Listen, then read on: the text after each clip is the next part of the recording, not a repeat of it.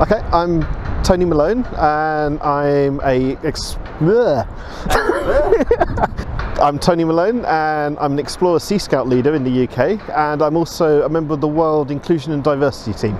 This is my 60 second scouter.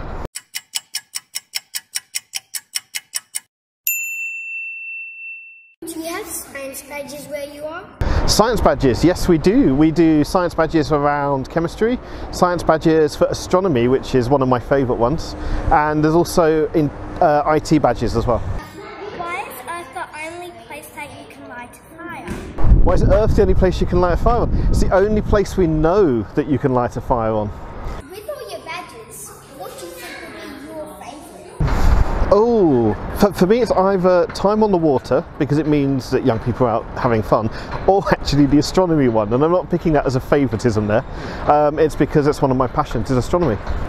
Do you know? I don't know. I'm probably going to go with this one.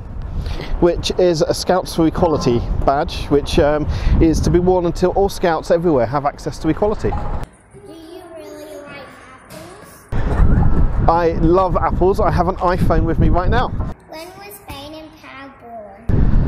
Um, oh, a long time ago in a galaxy far, far away.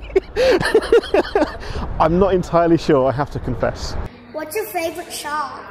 My favourite shark is the hammerhead shark um, because actually they just look really cool. What's your scout name? Uh, Tony T, because I make tea everywhere I go. Um, today I've got my group scarf, which is from the 38th and 40th Explore Sea Scouts, and it's what we call old gold and royal blue, but mine's a bit faded because it gets used a lot. What is your policy? Um, interestingly, um, I actually took the Buddhist promise. So my promise is to do my best, uh, to do my duty, to follow my dharma, um, to do my duty to the country I currently reside in, and to keep the Scout law. Have I've never parachuted. I'm terrified of heights, which is why I'm a Sea Scout. Um, but I have used parachutes to sail boats before.